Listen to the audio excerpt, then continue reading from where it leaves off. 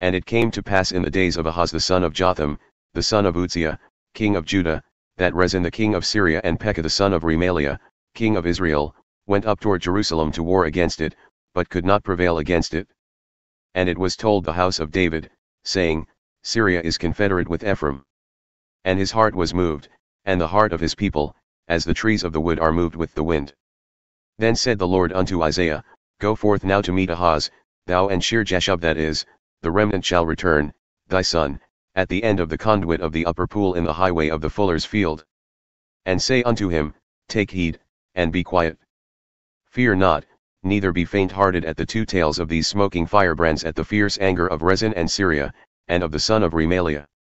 Because Syria, Ephraim, and the son of Remaliah have taken evil counsel against thee, saying, Let us go up against Judah and vex it, and let us make a breach therein for us, and set a king in the midst of it, even the son of Tabeel. Thus saith the Lord God, It shall not stand, neither shall it come to pass.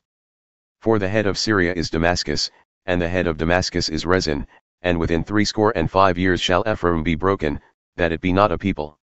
And the head of Ephraim is Samaria, and the head of Samaria is Remaliah's son. If ye will not believe, surely ye shall not be established.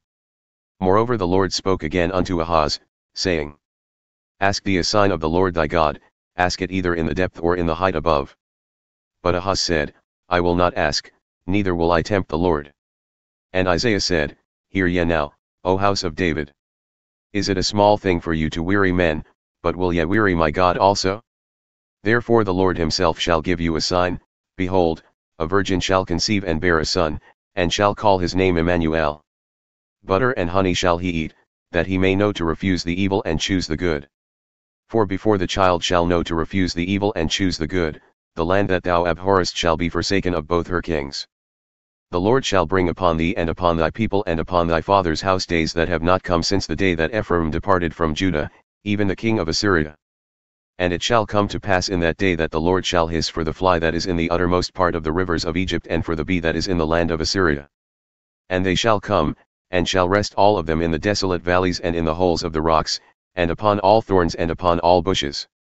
In the same day shall the Lord shave with a hired razor namely, by those beyond the river, by the king of Assyria the head and the hair of the feet, and it shall also consume the beard. And it shall come to pass in that day that a man shall nourish a young cow and two sheep, and it shall come to pass, for the abundance of milk that they shall give, that he shall eat butter, for butter and honey shall every one eat that is left in the land.